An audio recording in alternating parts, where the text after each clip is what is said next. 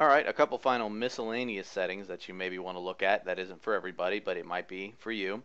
Um, is actually in the uploading section. Uh, whenever you're uploading files, uh, sometimes you don't want things such as protected content or maybe secretive content and stuff like that to just be easily guessed in a certain folder.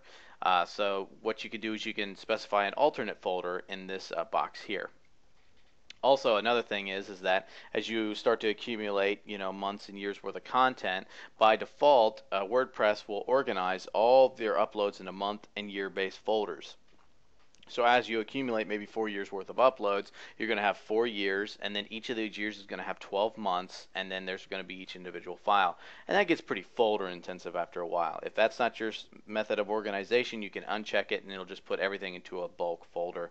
And that makes it a lot easier for backup purposes and download purposes. So that's something you may want to consider, but isn't necessarily for everybody. And that about does it for the miscellaneous settings.